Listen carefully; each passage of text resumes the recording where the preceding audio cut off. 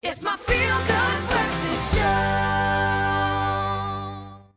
Now, it is Sustainability Week this week, and one of the key issues to ensure global sustainability is, of course, education, particularly in the fields of maths and science. Now, one group of South African teens is taking their education to new heights by embarking on a project to create Africa's very first private satellite. And with us in studio to tell us a bit more about this ambitious project is Judy Sandrock, the co-founder and joint CEO of Meta Economic Development Organization, uh, which is running the project, and also Carla de Klerk, who is the editor at Meadow Publications. Thank you very much for joining us this morning, ladies. Thank you so much for having us on the show. And this is very, very exciting indeed. I mean, when you think of youngsters taking on the world like this, creating their very own private satellite, uh, give us a bit of a background on the program, exactly what it involves, and how this idea came about.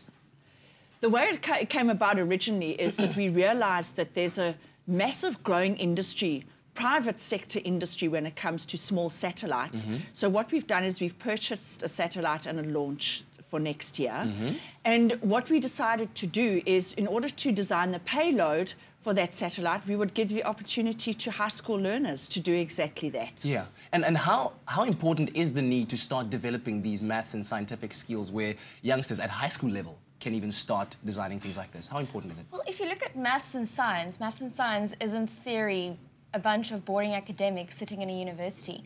maths and a lot of them don't like you right now. yeah, well, we need them, yeah, but maths and science is largely the field of problem solving. Um, if you look at South Africa, especially, we, we have structural problems that need solving.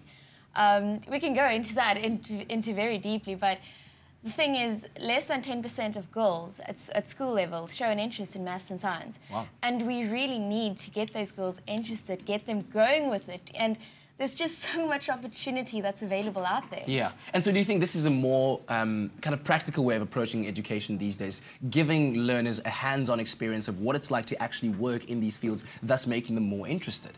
Yes, certainly. What we want to do is we want to inspire young women to get involved in the field. I myself, I'm a, I studied chemical engineering, mm-hmm. so I had a fantastic career. And there was a lot of equality in terms of how I was paid versus my male counterparts. I really had a terrific career.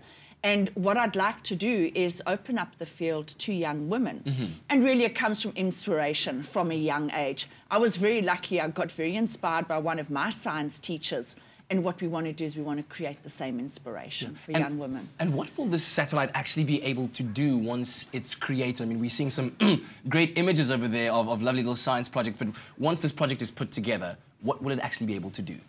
There's over 100 applications that the satellite could actually perform.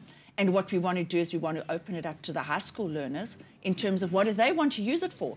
In other words, what what can we maybe measure uh, in terms of data, Yeah. collecting data around uh, food security, weather patterns, Wow. water security. So there's a lot of very practical applications. And it's up to the high school learners to decide what That's they want to use it for. When's launch date? When can we have, have a five, four, three, two, one So liftoff? next year, 2016, we're sending the, the satellite off. And then also for the next five years, we're also sending more satellites off because we want the program to go on and on and on. Beautiful. Um, and if you want to know more, please go to our website, Mm-hmm. medo.co.za. Fantastic. Thank you very, very much, ladies. Really exciting stuff. And right here in our very own backyard. And to those teenagers out there embarking on this incredible project, it really is proof that you can achieve anything that you put your mind to. And just uh, as Carla just said now, for more information uh, on the STEM project, you can visit medo.co.za.